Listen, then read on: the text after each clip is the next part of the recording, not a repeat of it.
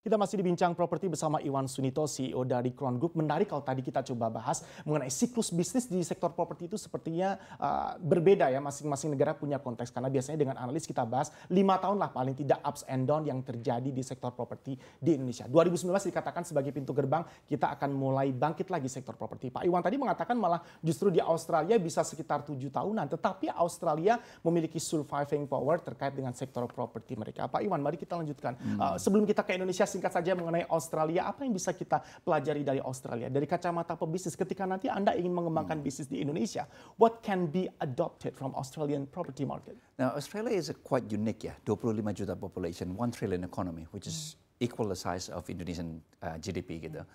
Nah, uniquenessnya karena dia adalah satu lokasi yang membuat seluruh dunia mau investasi ke sana, karena education system, hmm. karena European culture gitu ya. Jadi um, dia cukup resist, um, resistant to economic um, slowdown quite strong gitu karena dia bisa open the floodgate untuk China, untuk Singapore, untuk the whole world. So I think that's something that is really different dengan in Indonesia. Contohnya Indonesia is a mono economy.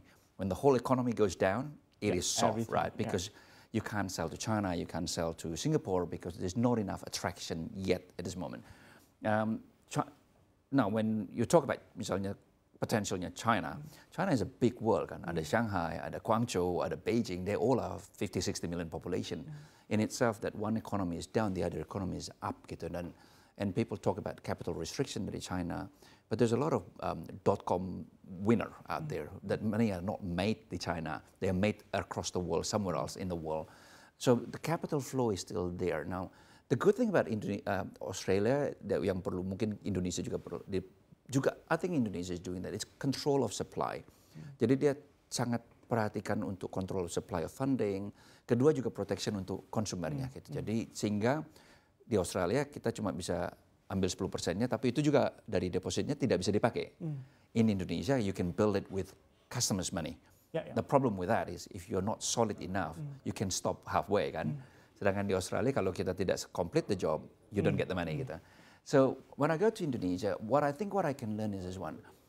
What we've done really well is ini adalah tentang bahwa um, the, the, the, the world is changing. People want more and more people are living in cities.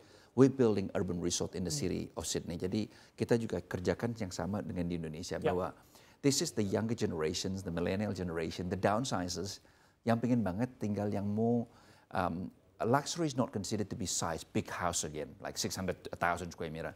Luxury is about access sharing, mm.